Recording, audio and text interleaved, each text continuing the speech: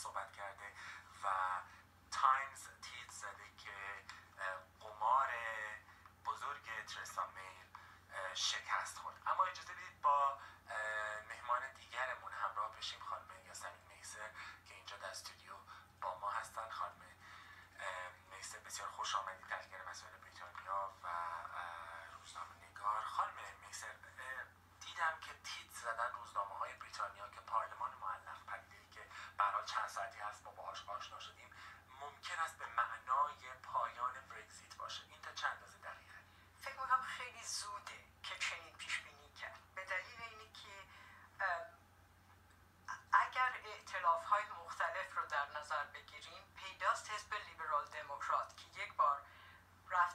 ائتلافی با حزب محافظ کار دور کامرون و بعد شکست اساسی خورد تاکید داره در تمام امشب هم تاکید داشته که وارد ائتلاف نخواهد شد.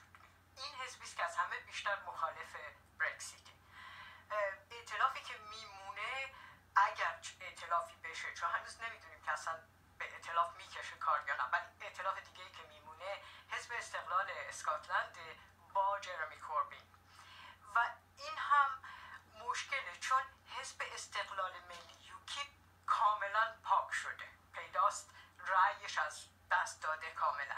ولی رأیش رو نه فقط به حزب محافظ کار از دست داده به حزب کارگر هم از دست داده. در نتیجه آقای کوربین هم در موقعیتی نخواهد بود که به این راحتی بگه من با برکسیت کاری ندارم.